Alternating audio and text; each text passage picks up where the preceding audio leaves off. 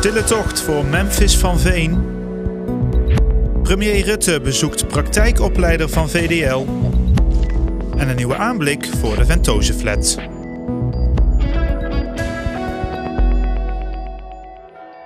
Vandaag is Memphis van Veen begraven. Haar uitvaart was vanochtend in de Sint-Trudo-kerk in Strijp.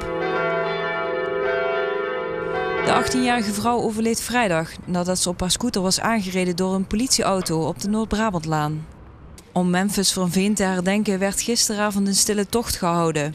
Er kwamen ongeveer duizend mensen naar de Noord-Brabantlaan, de plek waar het ongeluk gebeurde.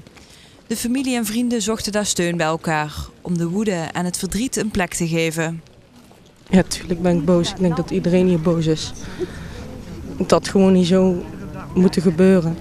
Dit is door niemand bedoeld. En ook die politieman heeft natuurlijk geen, geen leven. Of ja, tenminste, die, ja, voor hem is het ook verschrikkelijk. En, en voor al diegenen die het hebben gezien. En, en hè, ja, natuurlijk het ergste voor de nabestaanden, directe nabestaanden. Maar uh, nee, ik ben er niet boos om. Daar word je verdrietig van. Als politieagent zijn, doen ze de werk. Maar ze moeten wel opletten. Ik zit dagelijks op de weg en er gebeuren ook wel zo'n dingen waar niet in de burger kan. Ik zeg ja, kan dat zo, zonder sirenes. Dat kan ook niet. Bent u boos daarom? Natuurlijk. Die mensen staan maar op en die gaan met naar bed. En dat kan niet. Dat mag nooit gebeuren, zoiets. Memphis van Veen woonde op het woonwagenkamp aan de Welschapse dijk. Ze studeerde HBO-verpleegkunde aan de Fontes Hogescholen. Tijdens de herdenking werden wensballonnen opgelaten en bloemen neergelegd. In zoverre dat dat ooit troost kan bieden, hoop ik dat het wel laat zien dat iedereen het heel erg vindt wat er gebeurd is. Was een hele goede vriendin van mijn zoon.